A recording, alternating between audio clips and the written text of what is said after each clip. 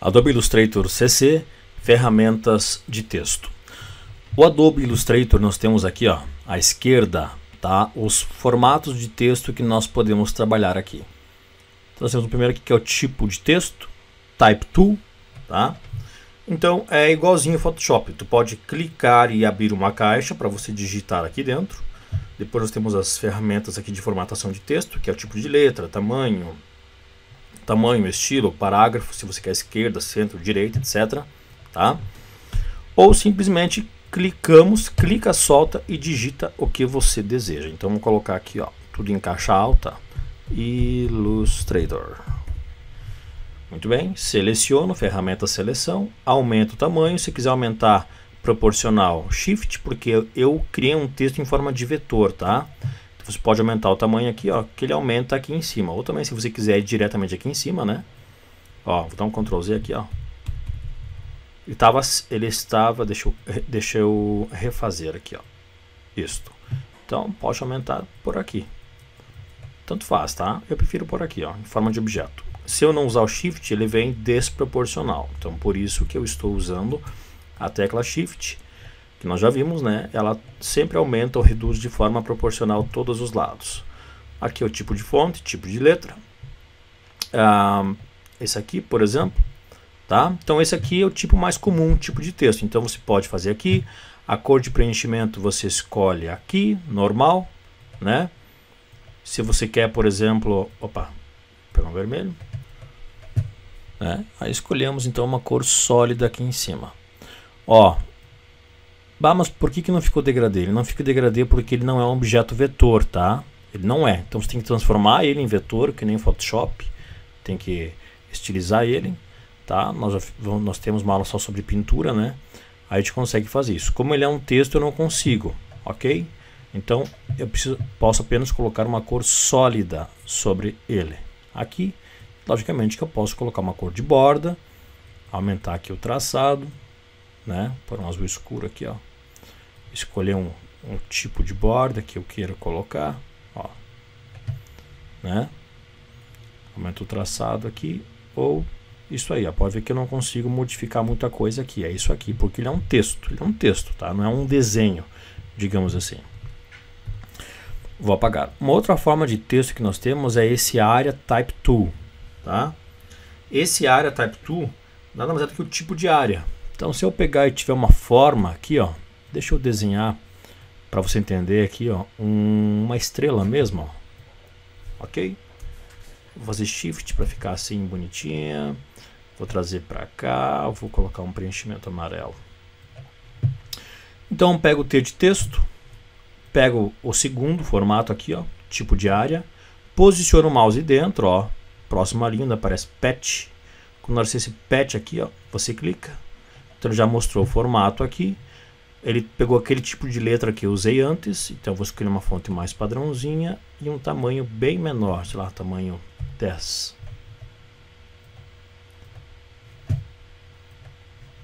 Tá, e um tamanho bem menor, sei lá, tamanho 10 aqui, ó.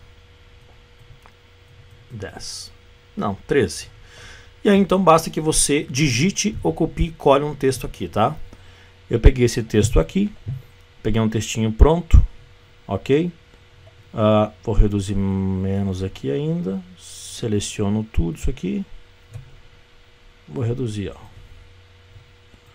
Tá? Então tinha mais informações aqui para caber aqui dentro, ó. Ou eu poderia pegar e aumentar o tamanho da minha estrela, né? Ó, se eu aumento o tamanho da estrela, ele vai proporcionalmente deixar o texto ali. Ok? Ó. Digamos que eu quero isso aqui, ó. Beleza. Se eu quero uma bordinha, né? Eu coloco um traçado ali.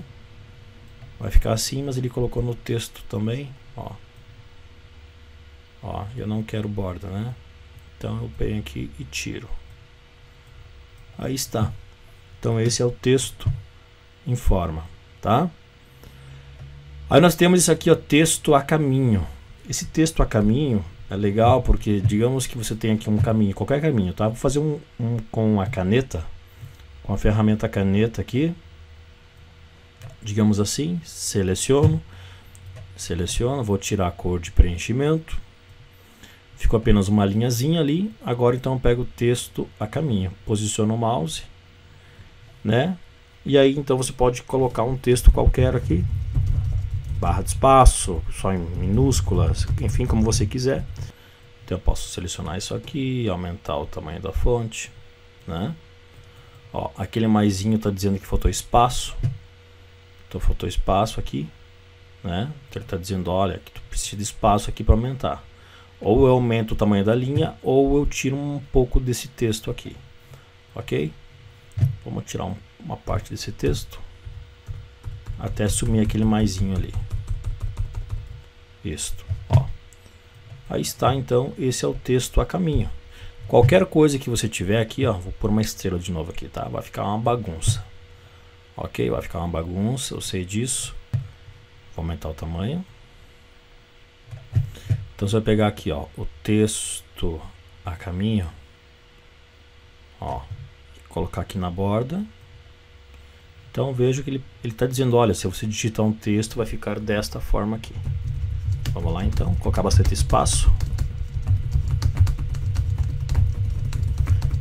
Vejam que ele começou do ponto onde eu cliquei. E ele vai contornar então o meu objeto.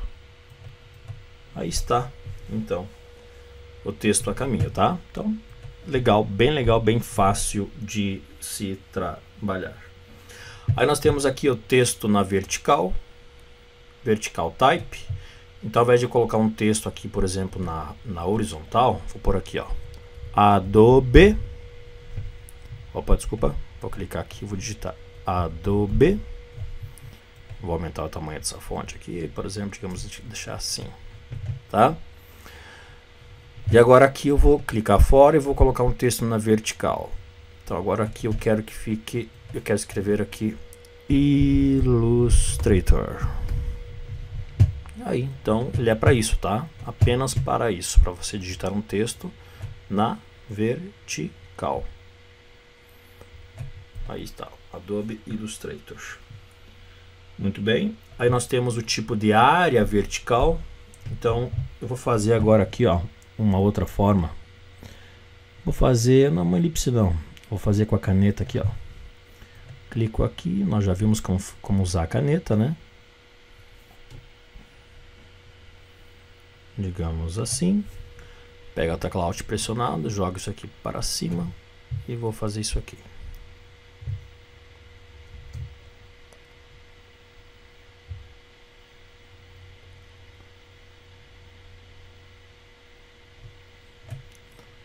Tá?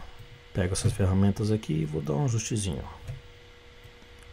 Digamos que eu quisesse assim, tá? Tipo uma, uma gota, né? Ó. Aqui embaixo um pouquinho mais. Deixa eu pegar aqui. Deixa eu pegar isto aqui. E vamos deixar aqui embaixo mais retinho, ó. Assim e assim, por exemplo. Ok. Vou pintar isso aqui de uma cor clarinha. Então vamos lá. Pego aqui e vou pegar então forma de texto vertical. Então aqui dentro também, ó, eu clico, então vejam como é que ficaria. E aí então eu vou digitar. Então a mesma coisa que nós vimos antes lá com a estrela, só que agora é na vertical, ao invés de ser na horizontal. Então, agora é de cima para baixo, ó. Que você pode fazer, tá? Deixa eu voltar aqui para não ter que apagar e fazer de novo. Aí nós temos nós temos mais uma ferramenta de texto que é aqui, ó, vertical type on. Esse vertical type on é tipo aquele seguir forma, só que ao invés dele seguir assim escrito, ele vai seguir na vertical, tá? Ó, então ele vai escrever assim, ó, na vertical, não não sobre a linha, né? Como aquele outro. Então, vou mostrar para você a diferença. Este aqui é o vertical e o texto a caminho. E o texto, deixa eu pegar de novo aqui. Aí ele não vai deixar que eu já tenho um objeto aqui. É, não vai deixar. E o texto a caminho, como nós vimos antes, ele faz sobre a linha, né? Ó, ele faz por cima da linha.